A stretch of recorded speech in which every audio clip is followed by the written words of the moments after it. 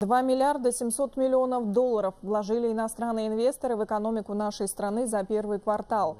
Этот показатель гораздо выше уровня 2015 поскольку тогда приток иностранного капитала сократился сразу на треть. По словам председателя правления Нацагентства по экспорту и инвестициям, приток иностранных инвестиций снизился во всех странах. Так, внешние вливания почти наполовину сократились в Испании, Финляндии, Южной Корее, Австралии и России.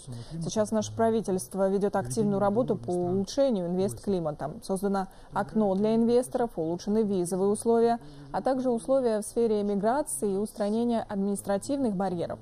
Казахстан занял 25 место по защите миноритарных инвесторов, а в рейтинге Doing Business улучшил позиции на 12 пунктов. В тренде обрабатывающая промышленность.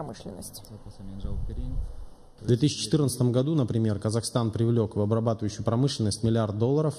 Это ровно в два раза выше, чем этот показатель ровно в два раза выше, чем в 2013 году, когда мы привлекли всего полмиллиарда долларов.